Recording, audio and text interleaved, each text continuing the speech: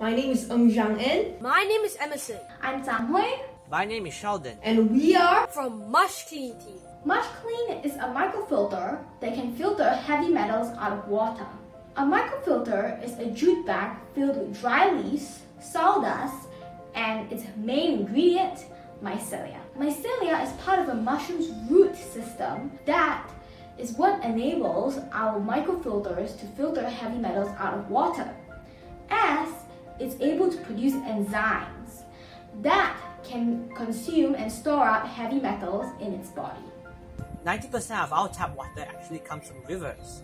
Unfortunately, many of these rivers are polluted and this causes water disruption which authorities have to address so they can flush out the contaminants from these rivers.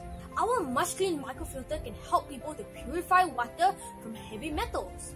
If many people and organizations replicate this project and install it into rivers, it will help to reduce many heavy metals from the water. Our vision is to develop Mush Clean for further factory use, to filter out their heavy metal waste before disposing it, educate more people around the country to replicate this project to purify river water. Thank you so much and bye!